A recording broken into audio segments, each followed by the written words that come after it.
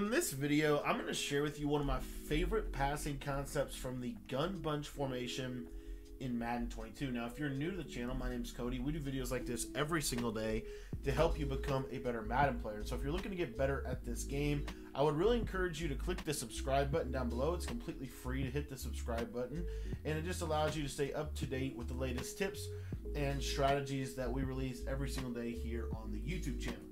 Now, like I said in this video, we're going to be breaking down a money play from the gun bunch. This play is going to be really good against cover three, really good against cover two, and all that stuff as well. And what I like about this play and this concept is that it does a really good job against a lot of the ways that a lot of people are going to try to defend the gun bunch formation. It is a flood within a uh, deep post and kind of combines a couple different concepts uh, from this formation. I have a full bunch offensive ebook. If you want to check that out, that is linked in the description. You can get all of my Madden guides by joining my Patreon membership uh, for just $10 a month. Unlocks everything over there.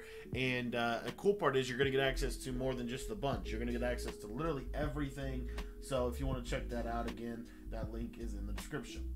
But the play we're going to be taking a look at today is the play Smash Return, and this is a great play for regs as well.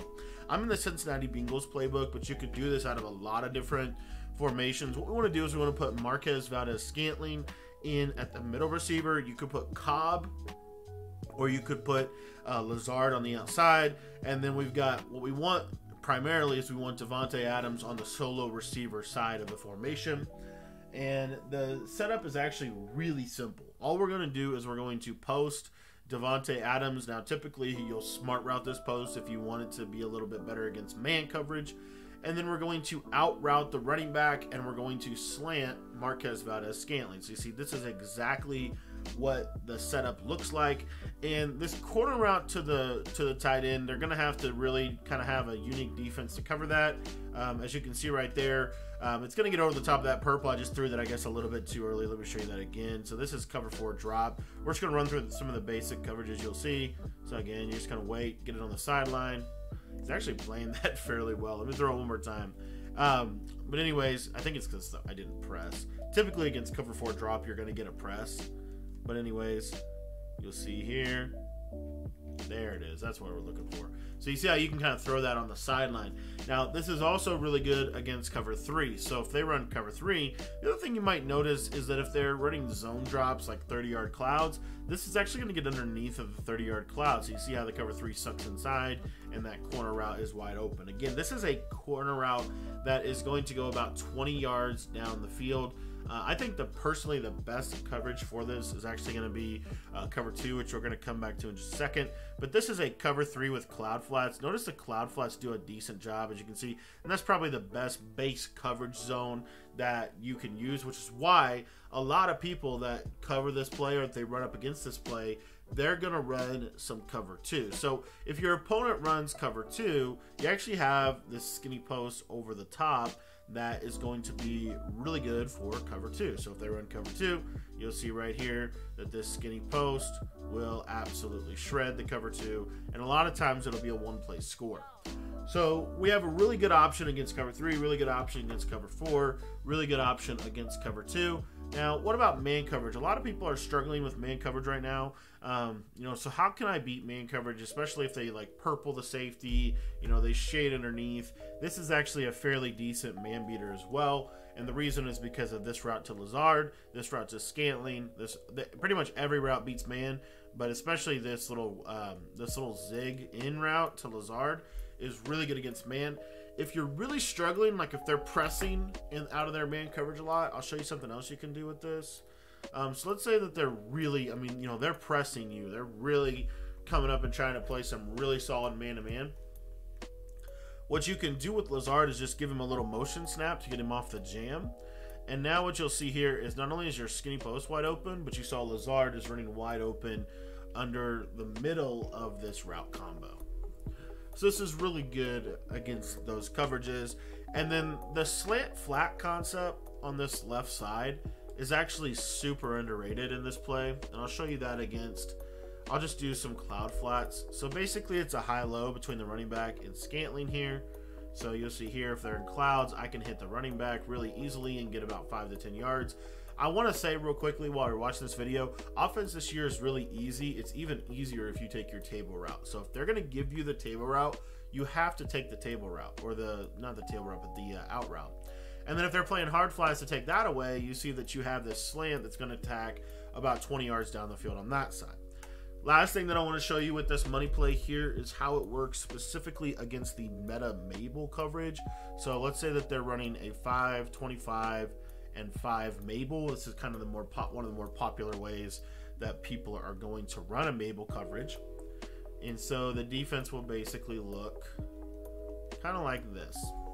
Now I'm going to show you one secret against cover three here at the end of the video, so hang around. But I, want to show you this uh, corner route. So this corner route to Valdes-Scantling, you'll see a lot of times you can actually throw this against a zone drop, and the reason why is because a lot of times the zone drops are going to be dropped at 25 or 30 yards, and that route is going to get just underneath the zone drop. It's one of the real beauties of this corner route, and it's one of the real beauties of the gun bunch. Honestly, is that they have all these different routes that require different zone drops to be able to defend at a high level. The other thing that I want to show you with the zone drops is that the slant is really good against those zone drops. As you can see right there, you can throw it. It's going to be about a 15 yard slant route that's going to get wide open against a double Mabel. So you have really good reads against double Mabel. And then lastly, let's say they actually are able to take everything away in terms of that. Then that's where your little dig route to Lazard, your little return route, is going to be really good. You're going to see here that he's going to kind of get in a weird little space on the zones. And a lot of times you can kind of pass lead or, or playmaker him wide open. Now, the last thing that I want to show is I talked about how this route is really good against cover two, um, but it's also really, really good against cover three or cover three cloud. So in this example here, this is a double Mabel max coverage defense. And what you're going to see is because we're running our bunch on the right hash, um, so you want to run this setup to the short side if you can help it.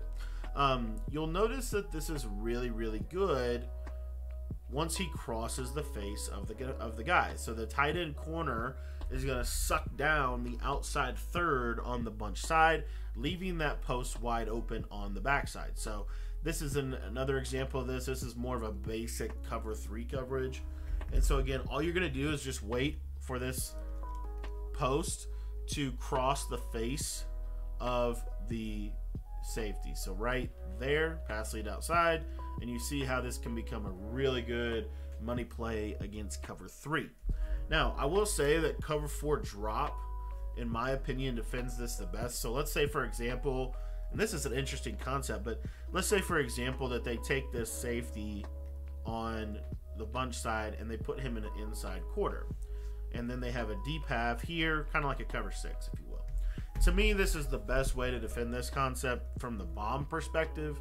Um, so what you'll see with this is this inside quarter a lot of times will do pretty decent. If you wait, you can kind of get it over the top, but it's really not.